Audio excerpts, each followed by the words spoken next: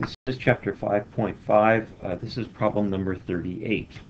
And it says, um, consider the following polynomial function.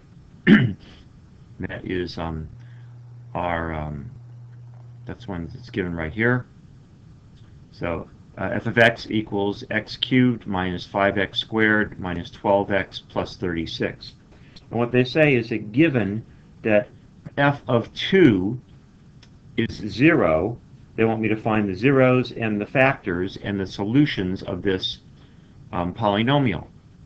So just what this means when they say f of 2 is equal to 0, they're telling us that x equals 2 is a factor because if x is if we if we solve for x is equal to 2 we're going to get 0 as our remainder so it's going to be a factor of this polynomial so they're telling us right off this right off the top here that one of the factors is is x minus 2 to this equation so why don't we do some synthetic division let's use 2 and divide that into our coefficients of this polynomial well that would be 1 negative 5, negative 12, and 36.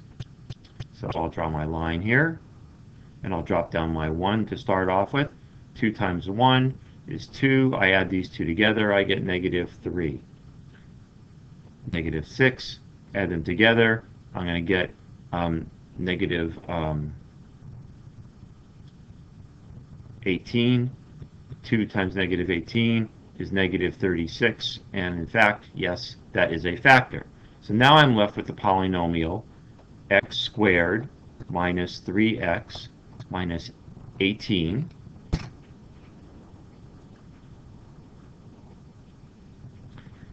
and that polynomial we know is times one of our factors that we already derived up here x minus 2. So that is times x minus 2.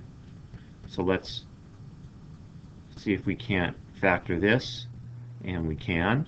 And I'm going to go um, x minus 6 times x plus 3. And we have our original x minus 2.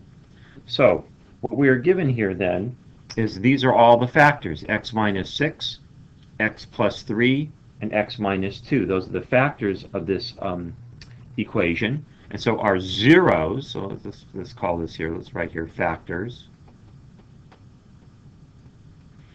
And our zeros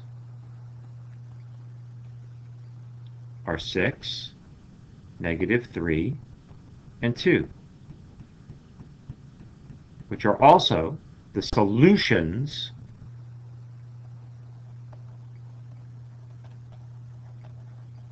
to our original polynomial equation. So you can kind of see the relationship between factors, zeros, and solutions.